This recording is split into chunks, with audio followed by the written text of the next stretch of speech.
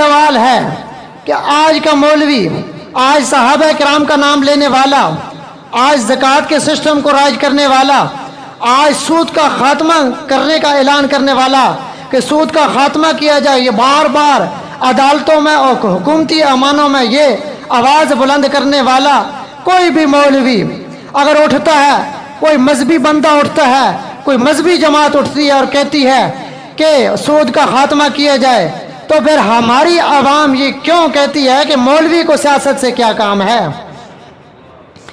क्या खुलफा मेम्बरों महराब के वाली नहीं थे? मेम्बरों महराब के मालिक नहीं थे? सियासत ये शुरू हुई है मस्जिद से। सियासत अगर देखें ना, साहबा कराम को तो वो मुसल्ले से शुरू हुई और मुसल्ले ही पे ख़त्म हुई है। आज तो माजरत के साथ हमारे लीडर कहीं जुम्मे पे या ईद की नमाज़ में भूल के चले जाएँ तो ऐसे देखते हैं। अगला बंदा जनाजे में हाथ उठा रहा है या नहीं उठा रहा हमने उठाना है या नहीं उठाना है? हमारे वो अमीरमिन आपने पढ़ा हज़रत उमर रज़ी अल्लाह तु का कहाँ हमला हुआ था? मुसल्ले के ऊपर सुबह की नमाज़ थी। और हज़रत अली रज़ी अल्लाह तु के ऊपर कहाँ हमला हुआ था? शहीद हुए थे मुसल्ले के ऊपर।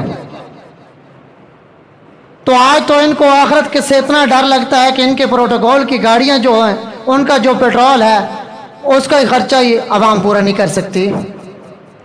तो हमें यह नहीं कहना चाहिए कि मौलवी का सियासत से क्या काम, मौलवी ही का सियासत से काम है। अमीरमिन क्या कर रहे थे कि मेरी ये तलवार कौन खरीदेगा, मैं अपना तयबंद खरीद लूँ? और आज क्या होता है? आज गरीब कहता है कि मुझे एक वक्त का आटा चाहिए, एक वक्त की रोटी चाहिए। और हुक्मरानों का तर्ज ज़िंदगी आप देख लें।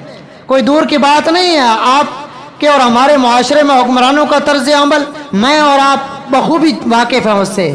उनका तर्ज अमल, क्या हुक्मरानों में कोई ऐसा है जो ये कहे कि आप अवाम में कोई ऐसा हो, मुझे कर्ज दे दे? हाँ ये ज़रूर कहते हैं कि अभी हमारे ख़जाने अरबों के जो डॉलर हैं, वो वो अभी भी कम है। आपके ऊपर मज़ीद टैक्स लगाया जाएगा। वहाँ अमीरमिन चंदा मांग रहा है, कर्ज मांग रहा है, तलवार बेच रहा है अवाम के सामने। क्यों? तहबंद के लिए पैसे नहीं हैं। और यहाँ आपके सारे इदारे बेच दिए जाते हैं। आप अगर लोटा खरीदते हैं, उस भी ऊपर भी टैक्स है। आप गाड़ी खरीदते हैं, उस भी ऊपर भी टैक्स है। फिर सालाना टैक्स है। हर चीज़ के ऊपर टैक्स है। आप गाड़ी के ऊपर सफ़र करते हैं, फिर भी आप टैक्स देते हैं टोल प्लाजे के ऊपर। आप एक लोटा खरीदते हैं, उसके ऊपर भी आप टैक्स देते हैं। आप कोई चीज़ कोई चीज़ भी ले लें, आप उसके ऊपर टैक्स देते हैं। उसके बावजूद आपको ये कहा जाता है कि आईएमएफ से हम मज़ीद कर्ज ले रहे हैं। और मज़ीद टैक्स आपके ऊपर लगाया जाएगा। और चलाकियाँ देखें, आठ दस रुपए पेट्रोल आवाम के लिए सस्ता किया जाता है, दूसरी तरफ़ आठ दस रुपए बिजली बढ़ा दी जाती है।